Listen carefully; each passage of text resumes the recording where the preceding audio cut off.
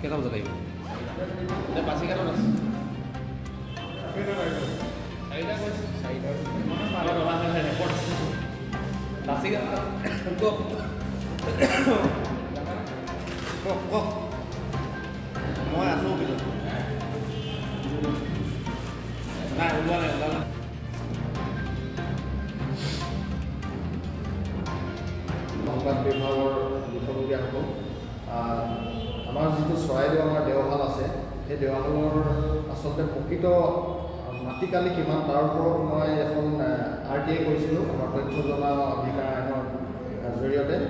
আৰু তাত তেখেতসকলে আমাক উত্তৰ দিছে যে চৰাইদেউ ঐতিহাসিক পৰ্বতৰ অন্তৰ্গত কীৰ্তিসমূহৰ সমূহৰ কোনো জমিত কোনো ধৰণৰ আৱণ্টন বা পট্টা দিয়া হোৱা নাই।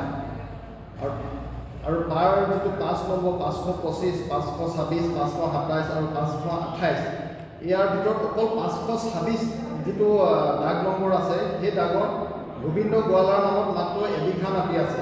বাকীখিনি গোটেইখিনি চৰকাৰী চৰকাৰী মাটি। আৰু ইয়াৰ যিটো দহ নম্বৰ দাগ দহ নম্বৰ দাগত আমাৰ যিটো চৰাইদেউ দেওশাল দেওশালৰ নামত সাত বিঘা দুই কথা দুই লোচা জামিন সংৰক্ষিত হৈ আছে বুলি কৈছে। কিন্তু আমি জানো যে আমি যিখিনি তথ্য পাইছোঁ তাত এই দহ নম্বৰ প্ৰায় দুশ বিঘাৰ অধিক মাটি চৰকাৰী মাটি তাত আছে। কিন্তু এই চৰকাৰী মাটি দুশ বিঘা গোটেইখিনি বেদখল হৈ আছে। তাৰ এটা সাধাৰণ তথ্য আপোনালোকৰ আগত দাঙি দিছোঁ। যিটো পাঁচ নম্বৰ দাগ ইয়াত লিখিছে যে পাঁচ নম্বৰ দাগটো পাঁচ নম্বৰ দাগটো চাওক ইয়াত। ইয়াত লিখিছে যে সম্পূৰ্ণ চৰকাৰী মাটি। কিন্তু এই পাঁচ চাওক এই পাঁচ নম্বৰ দাগৰ এই এই বাগানখন অৱস্থিত। এখেতে মাটিডোখৰ বেদখল কৰি ৰাখিছে।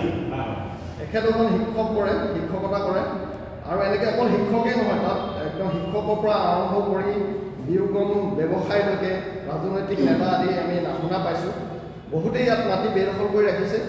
গতিকে সন্মানীয় আমাৰ মাননীয় মুখ্যমন্ত্ৰী মহোদয়লৈ আমি আহ্বান জনাওঁ যিটো আমাৰ আমাৰ ঐতিহ্য যি আমাৰ গৌৰৱ যি আমাৰ ইতিহাস। আমি এতিয়া তেখেতে যেনেধৰণে যি পদক্ষেপ লৈ যি সত্ৰ মন্দিৰ মছজিদৰ মাটি বেদখলৰ পৰা উচ্ছেদ কৰিছে নিশ্চয় অসমীয়া জাতিৰ বাবে ই এক আদৰণীয় বিষয়।